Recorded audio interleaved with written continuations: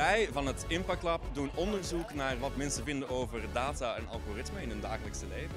En we meten dat eigenlijk voor en na de kunstopstelling van Julia Jansen. En we gaan dus kijken naar hoe mensen op Lowlands, die eigenlijk niet noodzakelijk naar een wetenschapsevent komen, hoe zij reageren op die opstelling. En hier ook in het Oifotechniek Museum, waar mensen dus duidelijk naartoe komen om met wetenschap uh, in uh, contact te komen en in gesprek te gaan.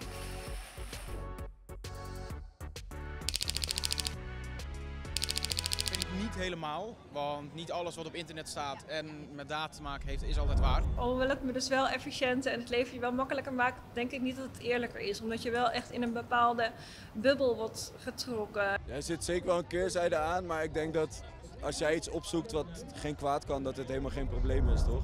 Je maakt je leven allemaal wat makkelijker, soms wat efficiënter omdat je sneller op de, op de, op de juiste plek bent. Of dat eerlijker is,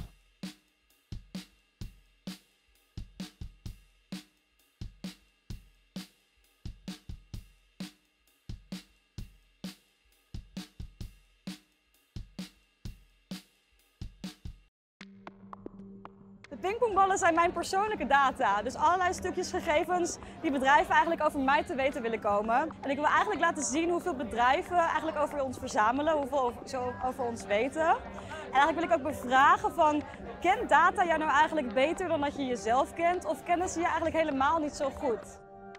Ik post wel wat op Instagram, ja. Ik heb wel online marketing gewerkt, dus ik weet wel uh, wat er allemaal mee kan gebeuren. Maar ik sta er niet bij stil als ik het post, nee. Artificiële intelligentie kan eigenlijk niet neutraal zijn, omdat wij mensen ook niet neutraal zijn. En wij mensen, wij maken deze technologie, we trainen deze technologie en we gebruiken deze technologie. En al op die verschillende manieren kan onze eigen menselijke vooringenomenheid eigenlijk in die technologie doorschemeren.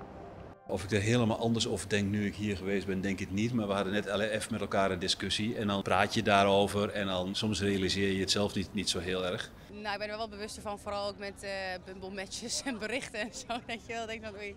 Nee, eerlijk gezegd wist ik dit al wel. En ik denk dat je in je dagelijkse gang, dat je toch een beetje je kop in het zand steekt voor uh, alles wat dit soort bedrijven uit je trekken onbewust. Wij hebben daar heel makkelijk over gedacht, maar zij toont aan dat data en algoritmes eigenlijk nog uh, onwetenschappelijk zijn. Na heel lang twijfelen was ik het er toch niet mee eens, want je wordt toch geconfronteerd met allemaal merken en bedrijven en prikkels die je misschien helemaal niet nodig hebt.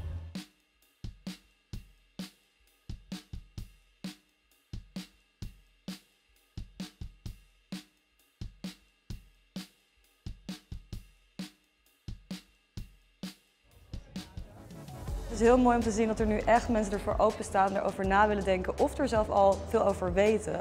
Dus ik heb echt veel goede energie gekregen van bezoekers, zowel het museum als op Lowlands. Fantastisch echt goed wat ze doen. Maakt mensen bewuster.